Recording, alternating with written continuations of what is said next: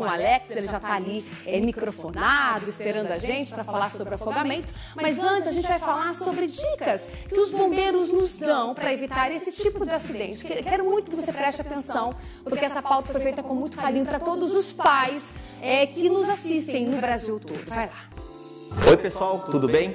Hoje nós vamos falar sobre afogamento. Na verdade, nós vamos falar sobre prevenção de afogamento em casa. Eu sou o Nosley Monteiro, sou especialista em emergência. Só lembrando, pessoal, afogamento de forma mais simples e clara é a água entrou pelas vias aéreas, boca e nariz. Tá? Esse é o conceito de afogamento. Então vamos falar sobre prevenção em casa. Primeiro ponto, a criança ela tem que ficar 100% na supervisão de um adulto. Qual que é a distância segura para uma criança? A um braço a um braço do adulto é a, é a distância segura.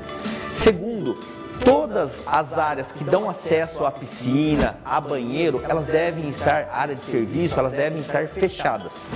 Depois nós temos que pensar o que? Lavanderias, máquina de lavar, tanques, baldes.